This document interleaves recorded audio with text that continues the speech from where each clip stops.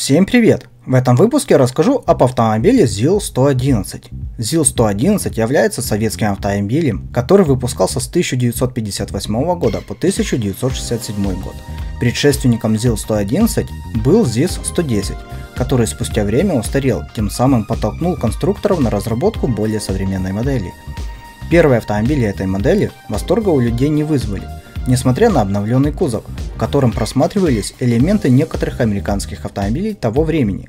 Конечно же, ZIL-111 перенял многие элементы американских моделей автомобилей 1950-х годов, а именно гидроусилитель руля, автоматический привод стеклоподъемников, большие панорамные окна и прочее. Также вышел ряд модификаций, первый из них был выпущен в 1959 году, ZIL-111A, который отличался от ZIL-111 задним стеклом. В 1960 году начали изготавливать Phaeton ZIL-111V.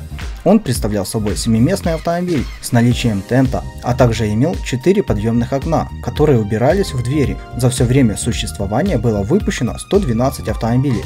На видео показан ZIL-111.